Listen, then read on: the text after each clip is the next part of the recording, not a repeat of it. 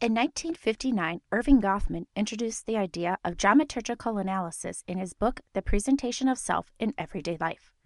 This symbolic interactionist theory makes the analogy of life as a theatrical performance and states that how we present ourselves in everyday life is similar to a performance on stage, kind of like Shakespeare's famous line, All the world is a stage. So, in other words, when we interact with people, we are actors in a performance.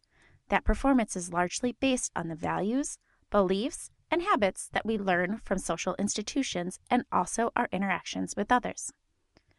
In situations where we don't know the others in the scene on a familiar or intimate level, we tend to present our front stage self. This front stage self is the version of us that we believe will be favorable to others. This is Maggie. Maggie is madly in love with Mike, Mike is an adventurous guitar player in a local rock band with multiple tattoos. His manners are questionable. He is known to belch on cue. Maggie's parents want to meet Mike. They have never seen a local rock performance, and Maggie's dad doesn't like tattoos. Maggie is nervous because she wants her parents to accept him. Mike tells Maggie he's got this covered.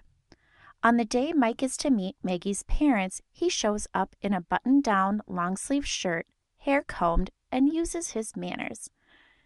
He never belches. Mike is the actor presenting his front stage self to Maggie's parents. When we engage our front stage selves, we also engage what is called impression management. In impression management, we engage in behaviors that we want the world to see, and those are often favorable. Mike wants Maggie's parents to like him, and he definitely wants to continue seeing Maggie.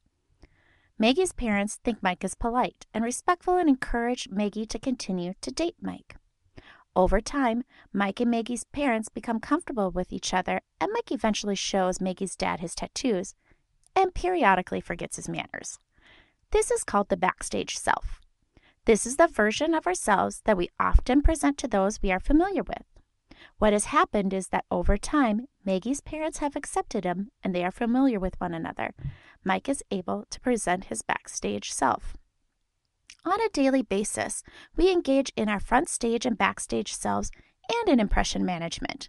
The more socially connected we are, the more we tend to manage what parts of ourselves we want the world to see favorably. We do this a lot in social media when we post a status on Facebook that shows we are compassionate or when we tweet a witty comment because you want to appear smart and funny. We do this in other instances when we dress professionally for an interview, shake the interviewer's hand, and laugh at their jokes. Believe it or not, we engage in dramaturgical analysis on a regular basis.